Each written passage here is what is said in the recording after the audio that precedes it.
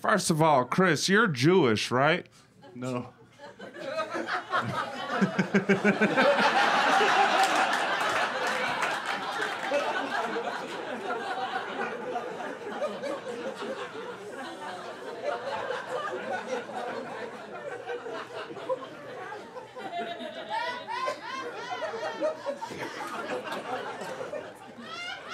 One of those has jokes on them. Four of them are restraining orders.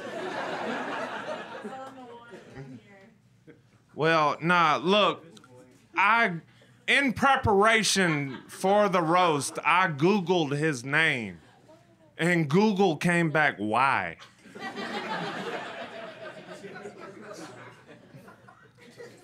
now, he, he looks like a shift manager from Waffle House who rules with an iron fist. Just like, did I say you could go on break? like I'm pregnant. And it's just like, you better keep that baby inside you.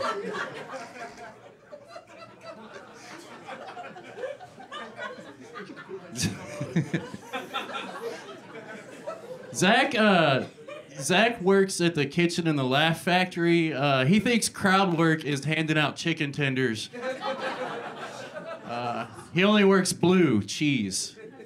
Uh, he thinks a tight five is mozzarella sticks. So you drove from Cleveland to say that. I drove from Cleveland to leave Cleveland.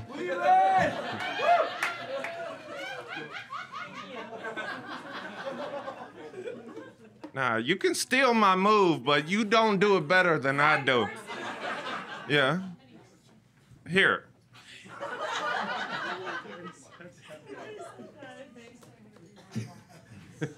All right, look. Chris is a 28 year old balding comedian who is based out of Cleveland, Ohio. So, really, there's really nothing for me to make fun of him for. but he is related to JonBenét Ramsey. This is true. He is related to JonBenét Ramsey, or as the police call him, suspect number seven. We were the same age at the time. so you didn't find her hot. oh man, that's hilarious. One chain. Uh, uh, Zach moved here from Georgia, I assume, in a van. Uh, but his accent got here on the Underground Railroad.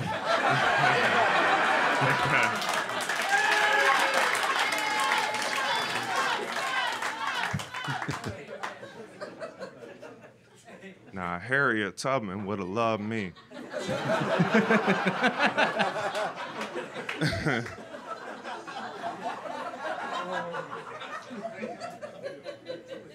Be a lot more mixed race people in here.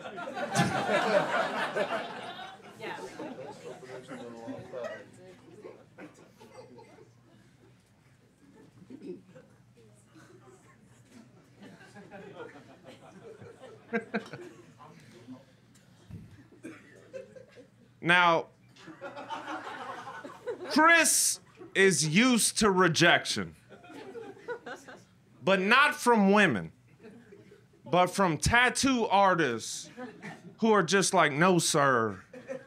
We're not gonna tattoo the letters Linkin Park across your knuckles.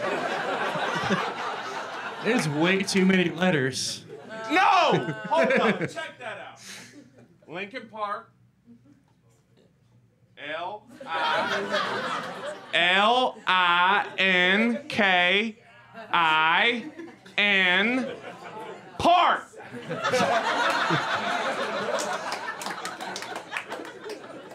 That's great. He didn't Zach- know. He didn't know I was a mathematician, man. Wrote that joke to prove he could spell. And add. Give it up for the front man to uh, System of a Down syndrome. Uh, Zach is uh, Zach is married to another comic. Uh, yeah, they're uh, they're a real white power couple. Uh, they're in an improv troupe together called Yes, and my husband loves to watch. Thank you for talking about my wife. She is a beautiful woman. I actually uh, drove here from Cleveland for another reason. Here's your wife's debit card. Uh, that in my wallet for some reason.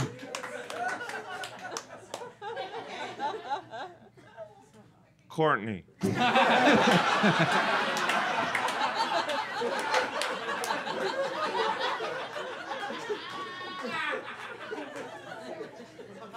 A comedian from Cleveland? You've heard the phrase "Ohio is for lovers." God damn. I mean, Dave Chappelle lives in Ohio. You couldn't get him?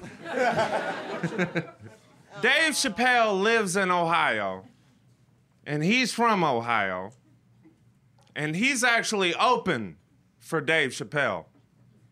He's opened up the door to the bathroom and asked him what kind of soap he wanted and gave him a mint. What I'm saying is that Chris is a maitre d' at a strip club.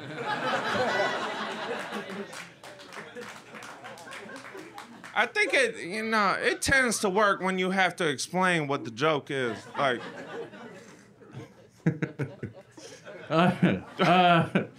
Uh, this uh, this stoned Guy Fawkes mask is uh, from Savannah, Georgia. It's a very progressive part of Georgia where they only hit women if it's a fair fight, and they get enthusiastic consent at the family orgy.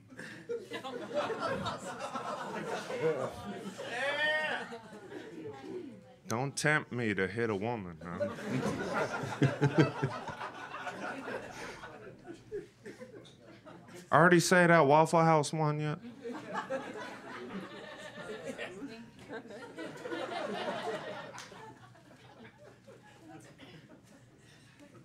know if you want me to read it.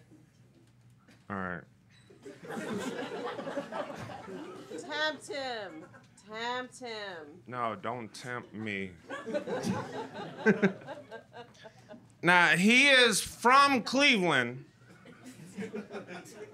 but he adopted his look from that movie Philadelphia.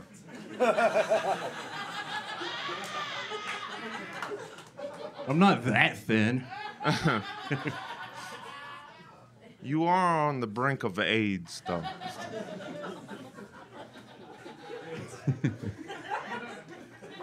Uh, let's hear it one more time for My Name is Earl sweatshirt.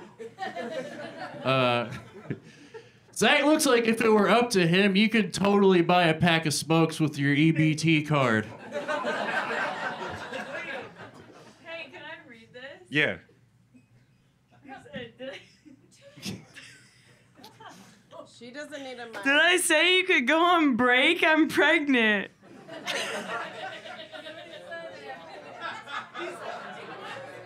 I think I did say that.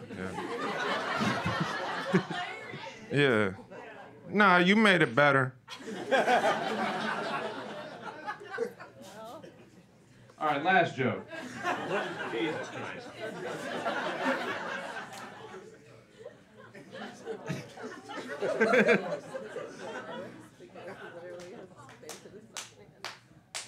Y'all give it up for my man who came all the way from Cleveland. What's his name? What's his name?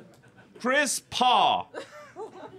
And Chris Paugh, that's not his name. That's just his business card that he gives out where it's like Chris Spa, where he gives out creepy back massages to new female comedians. Damn. Nah. Give it up for MGKKK.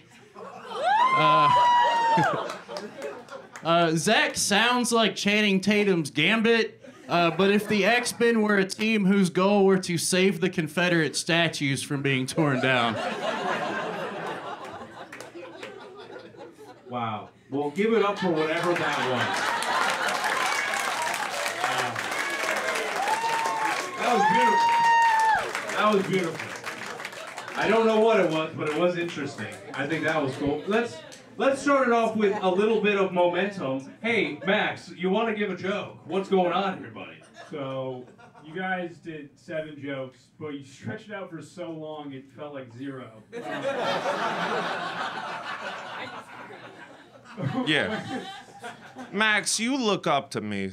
So, Yeah, Zach, Zach, your fly is down, dude. No, that was it. Leave the stage. I love them. All right, all right. we're Ah, gonna- these two yappy broads. Hurry up, Max. Yeah. Jesus Um, I think Zach just always spells Lincoln with a K. All right. Anyway, um, I gotta, I gotta give it to Zach for that one. I think it's overall stronger. Yeah. Okay, Zach gets a vote. Give it up for him. Yes. Next song, KKK. What did you think? Well, I mean, I, first I just want to say thank you both for violating your house arrest to be here tonight. I really appreciate that. Really do, man. I feel like I feel like that roast battle was it like if dial-up internet was a roast battle. That's what it would be. Uh, Zach, I never want to see you spell again. and Chris, you look like a Blink 182 as a person. Like you laughed, you were laughing, but your eyes were crying. I don't know how that works.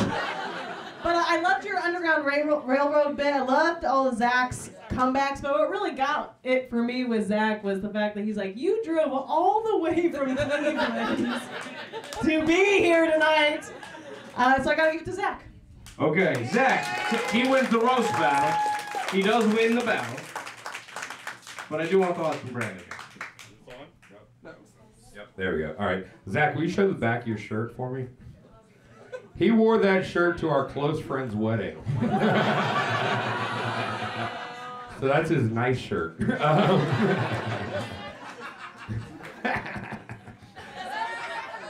yeah, that was pretty good. You read. For a guy who doesn't know all the lyrics to the alphabet song, that was pretty good. Um, and Chris, if your girlfriend cheated on you, I think you uh, you seem like a guy who would understand.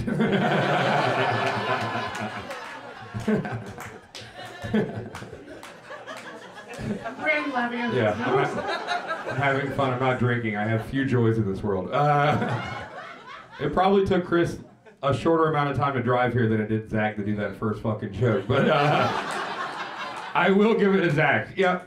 Okay, Zach wins it. But one more time for Chris coming out of our Cleveland the battle. Thank you for doing it. All right, you two. Get the fuck out of here. man. Chris, Paugh, how are you doing, my friend? You did your race, roast battle debut. I'll see you out there. We're do you did your roast battle debut here for roast battle Chicago, but you're fucking running shit out in Cleveland. What was your experience like coming from Cleveland and doing the roast battle Chicago out here? Uh, I had a lot of fun. I would have had twice as much fun had the other half of my jokes worked. Uh, but yeah, man, I it's a whole thing you guys are doing here. Uh, I've got a lot of questions for you later, uh, just on running shit. But yeah, this was such a fun show. Like the premise itself and shit like that. Uh, yeah, we've been doing it for eight or nine years out in Cleveland. Uh, I think our shit tends to be kind of inside. It's like more insular, so we're we we're not as good as we think we are. So this is this is fun to come out and uh, try. You know, bigger place, better crowds. Well, that's awesome. I mean, obviously, you've been doing this eight or nine years, roast battle. I mean, there's a bunch of different ways to do it. Obviously, in Chicago, we've had a lot of like in, more inside baseball roast shows. So, being a part of the league officially, right? You're a part of you're the Cleveland chapter. What has been the biggest change since the league has formed within the past two years that you've noticed, and how has that affected your show and running it? Uh, I mean, I think that's it. Like a lot of the inside shit doesn't fly anymore because we have normal people coming to shows now. Uh, it's not just for comedy fans anymore, or you know, like comedy nerds. Um, yeah, I think that's the biggest thing is like people just know what it is now, and uh, and kind of what to expect. They're more excited when they come out. Um, yeah, and just doing it at a higher level. It's like uh like growing up watching skateboarding in the 80s and shit and 90s and like it just got more and more complex and uh you know the battles are getting more complicated you know there's more tags We're crazy here. I'm sorry. Yeah.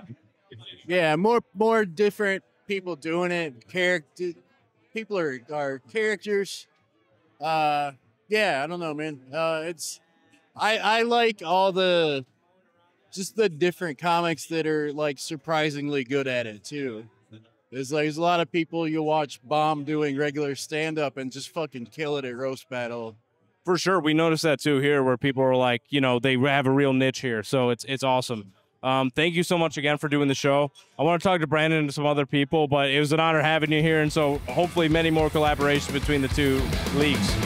You're the man. Let's get out of. This is a brutal spot to be in. So